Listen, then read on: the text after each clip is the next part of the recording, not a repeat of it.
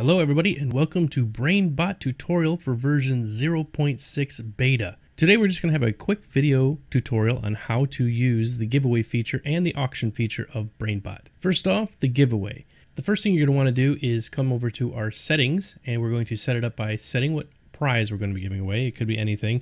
Right now we're just going to leave it as test or maybe test prize. The next thing is the keyword. Now this keyword does not require any kind of thing in front of it, but you can put something in front of it like an at sign or a exclamation point or a hashtag if you want. We're going to use an exclamation point and we're going to leave it as test keyword. This next box is your game code.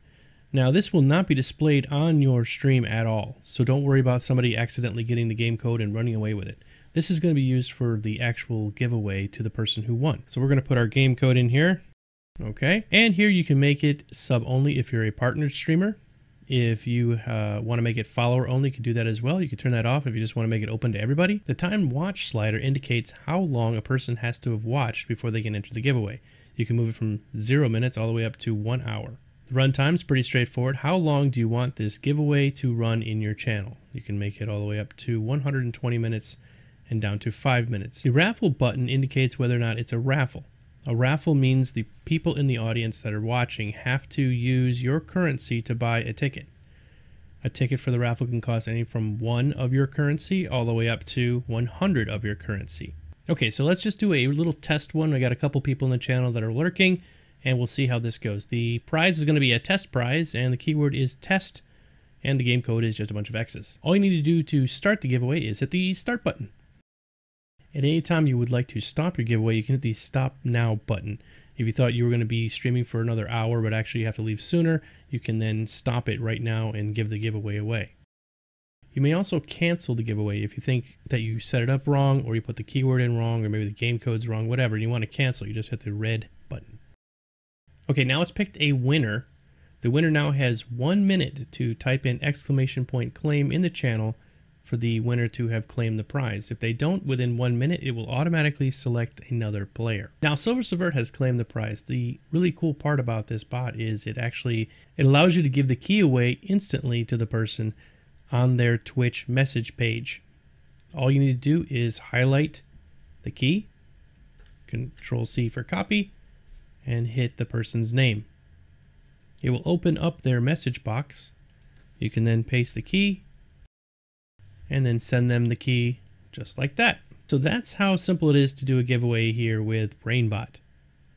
More functionality will be coming in further releases. Let's look at auctions now. Auctions work very much the same way as a raffle. The difference with an auction versus a normal raffle or a normal giveaway is that the people in the channel can use their currency to outbid each other. Say you're going to be giving away a very expensive prize, maybe a video card you don't want to be giving that away to just any Joe that just shows up in your channel. You want to make sure that it goes to a person who is devoted to you. So they're probably going to have a lot more currency, the people that are devoted to you. So the way this works is you'll go ahead and put your prize in here. If you're also giving away a game code, you can put that in here as well. You can make it sub only, follower only.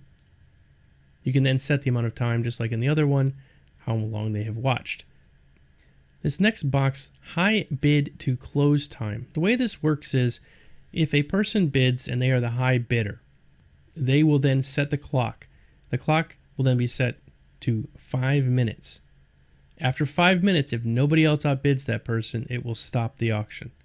You can move this slider up or down however long you would like it to be between the high bid and the last bid. At the five minute mark, if nobody has bid, the bot will start a countdown saying going once, it'll wait 30 seconds. Going twice, wait 30 seconds, and then sold. Once the high bidder has been selected, you can then just send them the key or work out however you want to give them this GTX 970 Superclocked Uber Edition. We hope this video has been helpful. If you have any questions, feel free to discuss with us on our Slack group. Thanks, everybody.